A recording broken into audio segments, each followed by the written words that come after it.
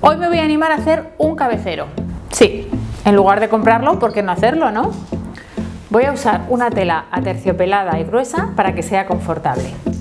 Espuma de 2 centímetros de grosor para que quede mullidito y cómodo. Y una tabla de madera de 90 de ancho por 1,90 de largo. La altura la voy a dar con unas patas de madera porque no quiero que esté rozando el suelo y se ensucie la tela.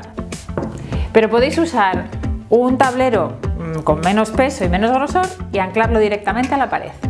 Bueno, lo que voy a hacer primero es forrar la tabla de madera con la espuma y después con la tela, ayudándome de una grapadora de tapicero.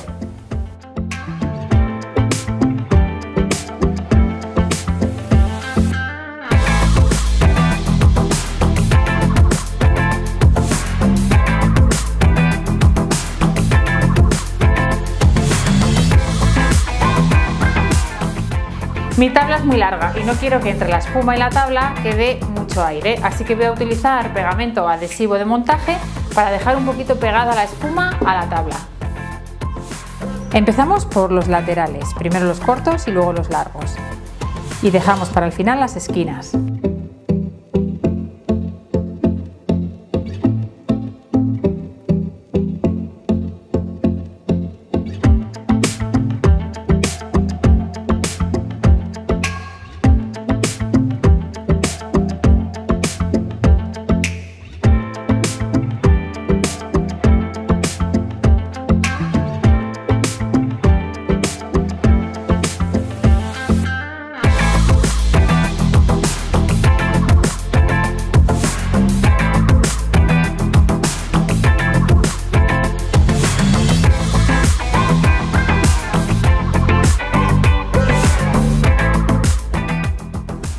Las esquinas las doblo y las cierro de esta manera. Esta tela es muy gruesa y unida a la espuma pues la hacen algo más difícil de doblar. La parte trasera se puede tapar con cualquier otra tela, como por ejemplo fieltro. Podríamos dejarlo así o poner un embellecedor como este, que es una tira falsa de tachuelas, para decorarlo por el frente o incluso por el borde.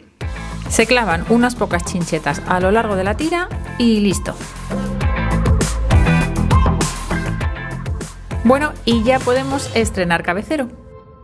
Contadme si os ha gustado y sobre todo si tenéis otras ideas para hacer el vuestro.